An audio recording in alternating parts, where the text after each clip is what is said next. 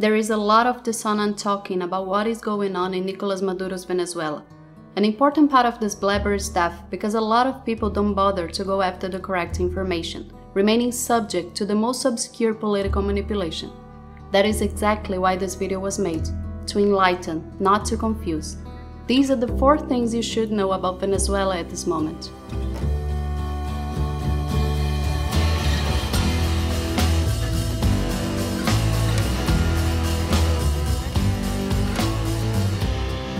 A big part of what helps maintain Nicolas Maduro's grip on power right now is the idea that the only interest Americans have in Venezuela is taking their oil reserves.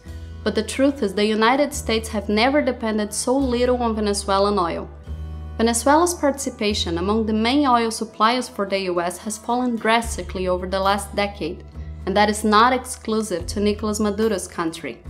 In the last years, Americas have been consistently rising their daily oil production, decreasing their dependence on other countries. The leap is so big, the country has become the biggest oil producer on the planet, even ahead of Saudi Arabia. Venezuela, on the other hand, is in free fall. With no money for investments, right now the country produces 11 times less barrels than the United States, a number that is not even enough to place them among the 10 biggest global producers. In 2017, Americans have produced 16% of all Earth's oil and consumed 20%. The trend, however, is that in 2019, the country's oil production rise will be equivalent to the entirety of Venezuela's production. According to the US Energy Information Administration, starting September of next year, the United States will even export their excess production. The numbers are so optimistic they predict in 2021 the United States will sell to other countries at least 1 million barrels a day, a volume larger than all of Venezuela's production in 2018.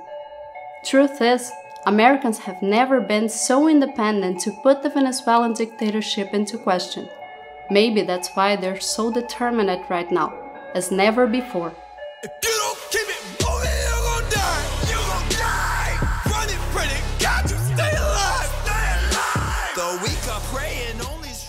You've probably heard that Venezuela is going through a humanitarian crisis, but you may not understand the true extent of the problem. Nowadays, minimum wage is only $6.38 per month. The amount is indisputably insufficient for survival, only enough to acquire a dozen eggs and a pound of meat. The result is an inevitable hunger crisis.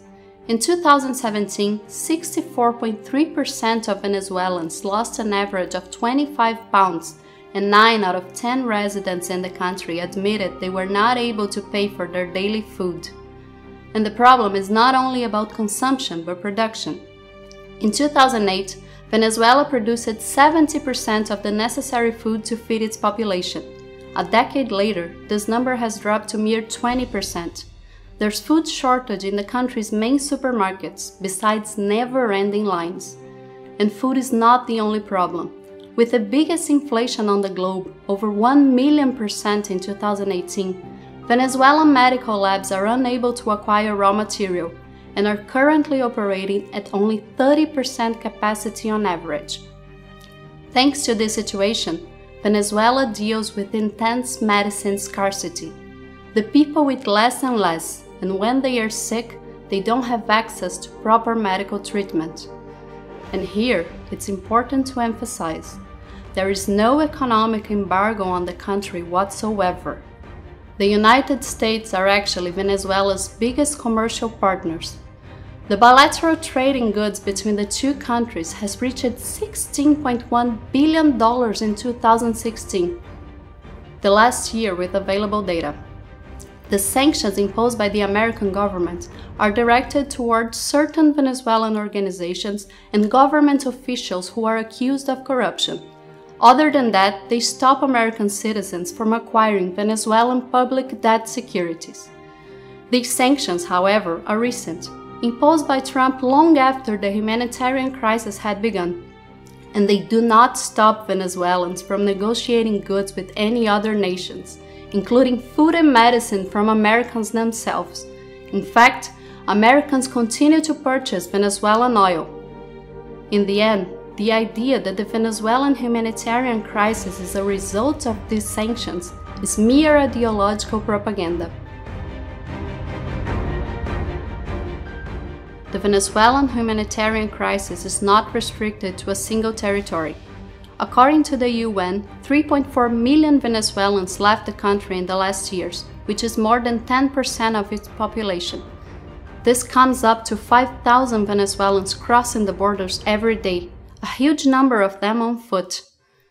Most emigrants choose other Spanish speaking Latin American countries as their destiny. In the last years, this choice has been mostly Colombia for 1.1 million refugees, Peru for 506,000, Chile for 288,000, and Ecuador for 221,000. Brazil has received 96,000 Venezuelan refugees over the same time period. The situation is so catastrophic that Venezuelans are already the largest group to seek asylum in the United States. According to the UN, this is the biggest refugee crisis in the continent's recent history, consistently bigger than the European crisis. In the last four years, the number of Venezuelans that reached other countries in America was almost double the number of refugees that got into the European Union over the same time period. That is exactly why this is not a problem that belongs to one nation, but to the entire planet especially those countries most affected by a humanitarian crisis for which Nicolás Maduro is the main person to be held accountable. With such economic difficulties, Venezuela won't stop its bleeding while it remains governed by a dictatorship. There are 966 political prisoners in the country at this moment, the largest number on its history, with tons of complaints of torture and rape. In less than two years, between 2015 and 2017, the Venezuelan state performed over 8,200 executions, according to Amnesty International. In 2018, Venezuela registered 23,000 homicides, at least 30% of which committed by police or military personnel. In March 2017, in a state coup performed by Maduro, the Venezuelan National Assembly lost the right to legislate, which means to say there is no division of powers in the country. In 2018, with control over the judiciary, Maduro was re elected president in an illegitimate election out of the electoral calendar, with no opposition present, a good portion of them under arrest, nor any independent international observance. Among countless accusations of vote buying, over half the population of Venezuela didn't even show up to vote. The Venezuela National Assembly, by the way, even in clandestinity, does not acknowledge Nicolas Maduro's legitimacy. Parliament understands his term ended last January 10th, the final day of his mandate, and that Maduro usurps the presidential chair at this very moment. It is exactly because of this that Juan Guaido, the president of the National Assembly, has proclaimed himself interim president of Venezuela until new elections are called. His mandate is recognized by the planet's main democracies, such as Canada, Japan, Australia, the United Kingdom, France, and Germany. Maduro, on the other hand, is supported by countries which are frequently accused of violating human rights, like Cuba, China, Russia, and Iran. This is the game that's being played right now, and Venezuela won't solve its problems while it remains cloistered by a dictatorship. Today, there's no other option. It's democracy or death.